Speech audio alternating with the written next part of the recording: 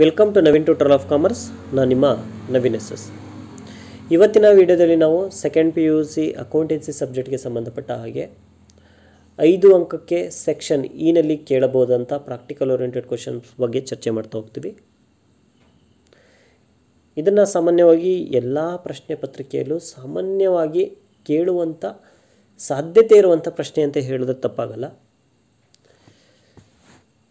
ಈ ಪ್ರಶ್ನೆಯನ್ನು ಚರ್ಚೆ ಮಾಡುವ ಮೊದಲು ನಮ್ಮ YouTube channel Naveen tutor of ಕಾಮರ್ಸ್ಗೆ ಯಾರು ಸಬ್ಸ್ಕ್ರೈಬ್ ಆಗಿಲ್ಲ, ನಮ್ಮ YouTube channel Naveen tutor of ಕಾಮರ್ಸ್ಗೆ subscribe ಆಗಿ. ನಮ್ಮ ಯೂಟ್ಯೂಬ್ ಚಾನಲ್ನಿಂದ ಗ್ರಾಮೀಣ ವಿದ್ಯಾರ್ಥಿಗಳು ಹಾಗೂ ನಗರ ವಿದ್ಯಾರ್ಥಿಗಳು ಅದರ ಜೊತೆಯಲ್ಲಿ ಖಾಸಗಿ ಅಭ್ಯರ್ಥಿಗಳಿಗೆ, ಮುಖ್ಯವಾಗಿ ಖಾಸಗಿ ಅಭ್ಯರ್ಥಿಗಳಿಗೆ ಅನುಕೂಲವಾಗಲಿ ಎಂಬ ದೃಷ್ಟಿಯಿಂದ ನಮ್ಮ ಯೂಟ್ಯೂಬ್ ಯೂಟ್ಯೂಬ್ ಚಾನಲ್ನಿಂದ ಸಾಧ್ಯವಾದಷ್ಟು ಮಾಹಿತಿಯನ್ನು ಹಂಚ್ಕೊಳ್ತಾ ಇದ್ದೀವಿ. ಹಾಗಾಗಿ ನಿಮ್ಮ ಸಮೀಪದ ಅಥವಾ ನಿಮ್ಮ ಸ್ನೇಹಿತರಿಗೆ, ಸೊ ತಿಳಿದಿರುವಂಥ ಅಭ್ಯರ್ಥಿಗಳಿಗೆ ಈ ವಿಡಿಯೋವನ್ನು ಶೇರ್ ಮಾಡಿ, ವಿಡಿಯೋವನ್ನು ಪರಿಪೂರ್ಣವಾಗಿ ನೋಡಿ. ಸದಾ ನೋಟಿಫಿಕೇಷನ್ ತಗೊಳ್ಳಿಕ್ಕೋಸ್ಕರ ಬೆಲ್ಲೈಕನ್ನು ಒತ್ತಿ ಅಂತ ಹೇಳ್ತಾ ಇವತ್ತಿನ ವಿಡಿಯೋನ ಆರಂಭ ಮಾಡೋಣ. ಪ್ರಶ್ನೆ ಯಾವ ರೀತಿ ಕೇಳ್ಬೋದು? ಸಾಮಾನ್ಯವಾಗಿ ಸೆಕ್ಷನ್ ಇನಲ್ಲಿ ಪ್ರಾಕ್ಟಿಕಲ್ ಓರಿಯೆಂಟೆಡ್ ಕ್ವಶನ್ ಅಂತ ಹೇಳಿ ಸೊ ಪ್ರಶ್ನೆ ಕೇಳ್ತಾ ಹೋಗ್ತಾರೆ. Prepare executor loan account with imaginary figures showing the repayment in two annual equal instalments along with interest so ಪ್ರಶ್ನೆ ಈ ರೀತಿ ಕೇಳ್ಕೊಂಡು ಹೋಗ್ತಾರೆ. ಅಂದರೆ ಇನ್ ಕೇಸ್ ಏನಾದರೂ ಡೆತ್ ಆಫ್ ಎ ಪಾರ್ಟ್ನರಲ್ಲಿ ಅಂತ ಹೇಳಿದ್ರೆ ಪಾರ್ಟ್ನರ್ ಏನಾದ್ರು ಡೆತ್ ಆಯಿತು ಅಂತ ಹೇಳಿದಾಗ, ಅವನಿಗೆ ಅಮೌಂಟನ್ನು ಸೆಟ್ಲ್ಮೆಂಟ್ ಮಾಡಬೇಕಾಗತ್ತೆ. ಅಮೌಂಟನ್ನು ಸೆಟ್ಲ್ಮೆಂಟ್ ಮಾಡಬೇಕಾದ್ರೆ ನಾವು ಎರಡು ರೀತಿ ಅಮೌಂಟನ್ನು ಸೆಟ್ಲ್ಮೆಂಟ್ ಮಾಡ್ತೀವಿ. ಒಂದು ಫುಲ್ ಕ್ಯಾಶಲ್ಲೇ ಸೆಟ್ಲ್ಮೆಂಟ್ ಮಾಡ್ತಾ ಹೋಗ್ತೀವಿ. ಎರಡು ಅಮೌಂಟನ್ನು ಲೋನ್ ಅಕೌಂಟ್ಗೆ ಟ್ರಾನ್ಸ್ಫರ್ ಮಾಡೋದ್ರ ಮುಖಾಂತರ ಸೆಟ್ಲ್ಮೆಂಟ್ ಮಾಡ್ಬೋದು. ಸೊ ಹಾಗಾಗಿ ನಾನೊಂದು ಇಲ್ಲಿ ಎಕ್ಸಾಂಪಲ್ನ ತೊಗೊಂಡಿದ್ದೀವಿ. ಸೊ ಇದು ಎಕ್ಸಾಂಪಲ್ ನಿಮಗೆ ಆನ್ಸರ್ ಬರೀಲಿಕ್ಕೆ ಸ್ವಲ್ಪ ಹೆಲ್ಪ್ ಆಗುತ್ತೆ. ಬಟ್ ಇದನ್ನು ಎಕ್ಸಾಮಲ್ಲಿ ಬರೀಬೇಕು ಅನ್ನೋ ಅವಶ್ಯಕತೆ ಏನಿಲ್ಲ ಡೈರೆಕ್ಟಾಗಿ ಎಂಟ್ರಿ ಬರೆದ್ರೆ ಸಾಕು. ಬಟ್ ಇದು ಜಸ್ಟ್ ನಿಮಗೆ ಆ ಕಾನ್ಸೆಪ್ಟ್ ಏನು ಹೇಳುತ್ತೆ ಅನ್ನೋದಕ್ಕೋಸ್ಕರ ಇದನ್ನೆಲ್ಲ ಬಿಡಿಸಿ ಹೇಳ್ತಾ ಇದ್ದೇನೆ ಅಷ್ಟೇ. Okay A B C are partner ಮೂರು ಜನ ಪಾರ್ಟ್ನರ್ ಇದೆ. ಎ ಬಿ ಸಿ ಮೂರು ಜನ ಪಾರ್ಟ್ನರ್ ಇದ್ದಾರೆ ಅಂದ್ಕೊಳ್ಳೋಣ ಅದರಲ್ಲಿ ಸಿ ಅನ್ನೋ ವ್ಯಕ್ತಿ ಏನಾಗ್ತಾನೆ? ಸತ್ತೋಗ್ತಾನೆ. C is death of a partnership C ಅನ್ನೋ ವ್ಯಕ್ತಿ ಏನಾಗ್ತಾನೆ? ಸತ್ತೋಗ್ತಾನೆ. So death of a partner ಯಾರು? ಸಿ ಸಿ ಸತ್ತೋದ ಮೇಲೆ ಅವನಿಗೆ ಎಷ್ಟು ಅಮೌಂಟನ್ನು ಸೆಟಲ್ಮೆಂಟ್ ಮಾಡಬೇಕು? ಟ್ವೆಂಟಿ ತೌಸಂಡ್ ಅಮೌಂಟನ್ನು ಸೆಟಲ್ಮೆಂಟ್ ಮಾಡಬೇಕು. ಸೊ ಕ್ಯಾಶಲ್ಲಿ ಕೊಡ್ತಾ ಇಲ್ಲ. ಬದಲಿಗೆ ನಾವೇನು ಮಾಡ್ತಾಯಿದ್ವಿ ಆ ಅಮೌಂಟನ್ನು ಸೊ ಲೋನ್ ಅಕೌಂಟಿಗೆ ಟ್ರಾನ್ಸ್ಫರ್ ಮಾಡ್ಕೊಳ್ತಾ ಇದ್ದೀವಿ ಲೋನ್ ಅಕೌಂಟ್ ಟ್ರಾನ್ಸ್ಫರ್ ಮಾಡಬೇಕಾದ್ರೆ ಎರಡು ಇನ್ಸ್ಟಾಲ್ಮೆಂಟಲ್ಲಿ ಎರಡು ಇನ್ಸ್ಟಾಲ್ಮೆಂಟಲ್ಲಿ ಆ ಇಪ್ಪತ್ತು ಸಾವಿರ ರೂಪಾಯಿ ಅಮೌಂಟನ್ನು ಕೊಡ್ತೀವಿ ಅಂತ ಹೇಳಿ ಸೊ ಹೇಳ್ಕೊಂಡಿದ್ದಾರೆ. ಹಾಗಾಗಿ amount settlement or settlement amount transfer to the loan account okay so ಎಷ್ಟು ಅಮೌಂಟ್ ಕೊಡಬೇಕು ಅಂದ್ಕೊಳೋಣ ಒಂದು ಇಪ್ಪತ್ತು ಸಾವಿರ ರೂಪಾಯಿ ಅಮೌಂಟನ್ನು ಎರಡು ಇನ್ಸ್ಟಾಲ್ಮೆಂಟಲ್ಲಿ ಕೊಡ್ತೀವಿ ಅಂತ ಹೇಳ್ಕೊಂಡಿದ್ವಿ. ಹಾಗಾಗಿ twenty thousand divided by two is equal to ten thousand ಅಂದರೆ ಪ್ರತಿ ಇನ್ಸ್ಟಾಲ್ಮೆಂಟ್ಗೂ ಹತ್ತು ಸಾವಿರ ರೂಪಾಯಿ ಅಮೌಂಟನ್ನು ಕೊಡ್ತೀವಿ. ಅಂದರೆ ಎರಡು ಇನ್ಸ್ಟಾಲ್ಮೆಂಟ್ ಇದೆ, ಇಪ್ಪತ್ತು ಸಾವಿರ ರೂಪಾಯಿ ಕೊಡಬೇಕು, ಹತ್ತತ್ತು ಸಾವಿರ ರೂಪಾಯಿ ಒಂದು ಇನ್ಸ್ಟಾಲ್ಮೆಂಟ್ ಬರುತ್ತೆ. First installment ten thousand second installment ten thousand ಅದ್ರ ಜೊತೆಗೆ ಸೊ ಹತ್ತು ಪರ್ಸೆಂಟ್ ಇಂಟ್ರೆಸ್ಟನ್ನು ಕೊಡ್ತೀವಿ. ಹತ್ತು ಪರ್ಸೆಂಟ್ ಇಂಟ್ರೆಸ್ಟನ್ನು ಕೊಡಬೇಕು ಅಂತೇನಿಲ್ಲ. ಸೊ ಬೇರೆನೂ ಚೇಂಜ್ ಮಾಡ್ಕೊಳ್ಬೋದು. ನಾನು ಅಸ್ಯೂಮ್ ಮಾಡ್ಕೊಂಡಿರೋದು ಇಷ್ಟು. ಒಂದು ಹತ್ತು ಪರ್ಸೆಂಟ್ ಇಂಟ್ರೆಸ್ಟ್ ಕೊಡ್ತೀನಿ ಅಂತೇಳಿ. ಹಾಗಾಗಿ ಸೊ ಇದಿಷ್ಟು ಫಿಗರ್ನ ಇಟ್ಕೊಂಡು ನಾವೇನು ಮಾಡ್ತಾ ಹೋಗ್ತೀನಿ ಒಂದು ಎಕ್ಸಿಕ್ಯೂಟಿವ್ ಲೋನ್ ಅಕೌಂಟನ್ನು ಪ್ರಿಪೇರ್ ಮಾಡ್ತೀನಿ ಜಸ್ಟ್ ಇದು ಎಕ್ಸಾಂಪಲ್ ಅಷ್ಟೇ. ಸೊ ನೀವು ಎಕ್ಸಾಮ್ಗೆ ಇದನ್ನು ಅವಶ್ಯ, ಬರೆಯೋ ಅವಶ್ಯಕತೆ ಇಲ್ಲ. ಓಕೆ ಸೊ ಎಕ್ಸಿಕ್ಯೂಟಿವ್ ಲೋನ್ ಅಕೌಂಟನ್ನು ಯಾವ ರೀತಿ ಪ್ರಿಪೇರ್ ಮಾಡಬೇಕು? ಸೊ ಡೆಬಿಟ್ ಸೈಡಲ್ಲಿ bank account balance carry down bank account ಅಂತಿದೆ. ಕ್ರೆಡಿಟ್ ಸೈಡಲ್ಲಿ capitals account, interest account, balance carry down interest account ಅಂತ ಹೇಳಿ ಇದೆ. ಹಾಗಾದರೆ ಅದು ಹೇಗೆ ಬಂತು ಅಂತ ಹೇಳಿ ನೋಡ್ತಾ ಹೋಗೋಣ. ಸೊ ಮೊದಲಿಗೆ ಫಾರ್ಮೆಟನ್ನು ನೋಡ್ತು ಅಂತ ಹೇಳಿದ್ರೆ, so left side debit side date particular amount right side credit side date particular amount so first balance on first April to by eighteen by C's capital account C ಅನ್ನೋ ವ್ಯಕ್ತಿಗೆ ಎಷ್ಟು ಅಮೌಂಟನ್ನು ಕೊಡಬೇಕು? ರುಪೀಸ್ ಟ್ವೆಂಟಿ ತೌಸಂಡ್ ಅಮೌಂಟನ್ನು ಕೊಡಬೇಕು. ಟೋಟಲಾಗಿ ಎಷ್ಟು amount ಕೊಡಬೇಕು ಅವನಿಗೆ? ಟ್ವೆಂಟಿ ತೌಸಂಡ್ ಅಮೌಂಟನ್ನು ಕೊಡಬೇಕು.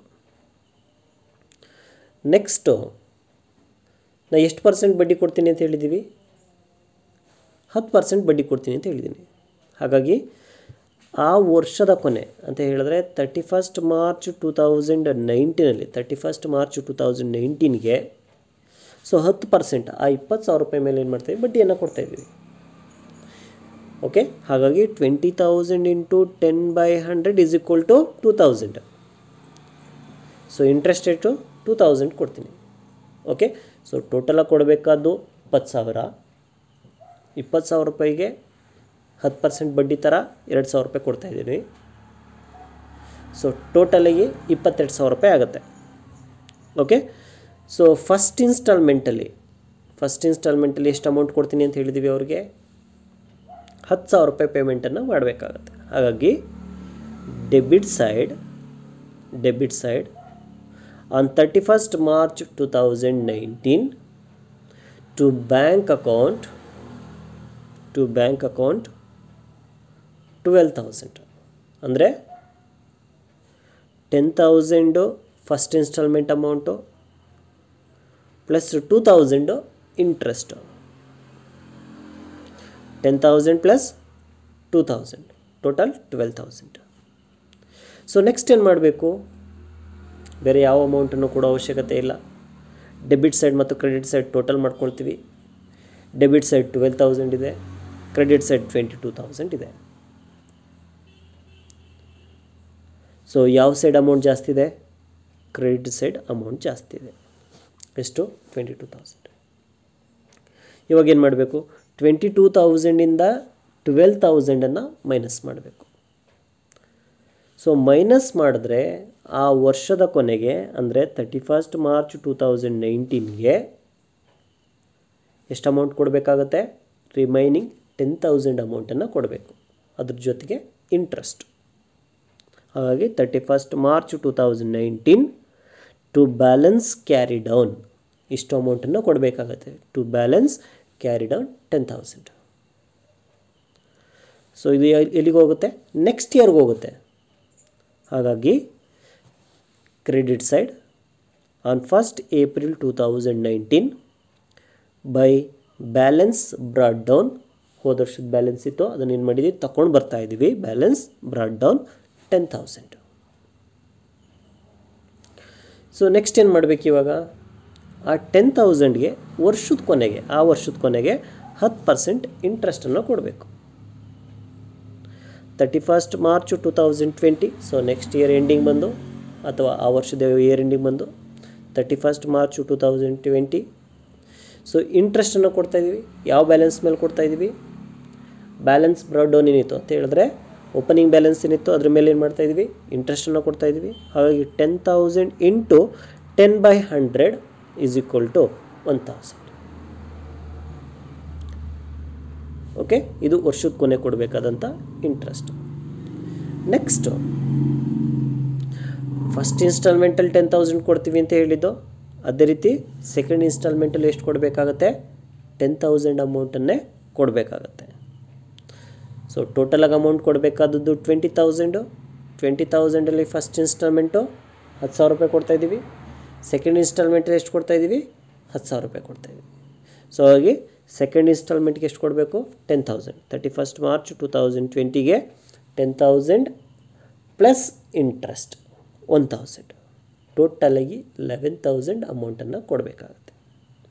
Ten thousand plus one thousand next debit side and credit side. Debit side and credit side. ಎರಡೂ ಸೈಡ್ ಟೋಟಲ್ ಮಾಡಿದಾಗ ಎಷ್ಟು ಅಮೌಂಟ್ ಬರ್ತಾ ಹೋಗುತ್ತೆ? Eleven thousand eleven thousand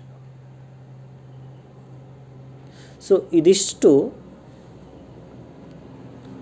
main ಎಕ್ಸಾಮ್ಗೆ ಬರಿಬೇಕಾದಂಥ ಆನ್ಸರು ನಾನು ಸಾಧ್ಯವಾದಷ್ಟು ಬಿಡಿಸಿ ಹೇಳುವ ಪ್ರಯತ್ನವನ್ನು ಮಾಡಿದ್ದೀನಿ. ಸೊ ನಿಮ್ಮ ಲೆಕ್ಚರರ್ ಏನಿದ್ದಾರೆ, ಅವ್ರನ್ನ ಒಂದು ಸತಿ ಭೇಟಿ ಮಾಡಿ, ಇದು ಹೇಗೆ ಬರುತ್ತೆ, ಸರ್ ಹೇಗೆ ತೊಗೊಳ್ಬೇಕು ಅಂತ ಅವ್ರ ಮೇಲೆ ಚರ್ಚೆ ಮಾಡಿ.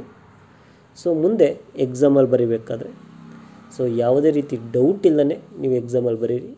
ಐದಕ್ಕೆ ಐದು ಅಂಕವನ್ನು ಪಕ್ಕ ತೊಗೊಳ್ಬೋದು. ಸೊ ಕಷ್ಟ ಇರಲ್ಲ. ಹಾಗಾಗಿ, ಸೊ ಎಕ್ಸಾಮ್ ಏಪ್ರಿಲಲ್ಲಿ ನಡೆಯುತ್ತೆ. ಯಾವುದೇ ರೀತಿಯ ಗೊಂದಲ ಬೇಡ. ಎಕ್ಸಾಮನ್ನು ಆರಾಮಾಗಿ ಬರೀರಿ.